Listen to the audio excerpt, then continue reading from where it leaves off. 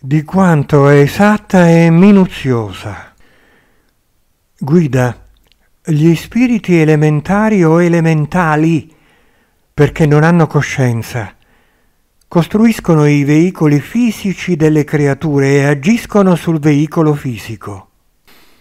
Altri spiriti elementari lavorano sui fattori psicologici e agiscono sul piano mentale e spirituale.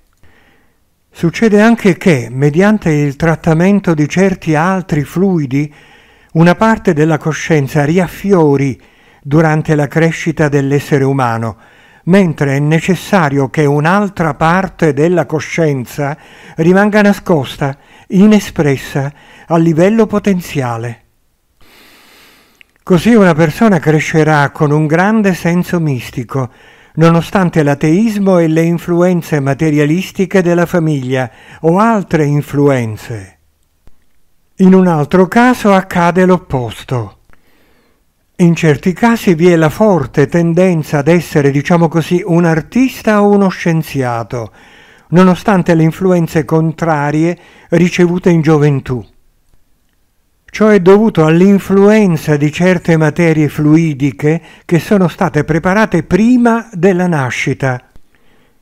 Questa preparazione determinerà quale tipo di esigenza, tendenza e insegnamento dovrà emergere in un particolare periodo. Vengono preparati e organizzati altri fluidi che influenzeranno la realizzazione o meno di altri fattori. Da tutto questo forse potrete avere una sia pur vaga idea di quanto esatta e minuziosa debba essere la preparazione del cosiddetto individuo.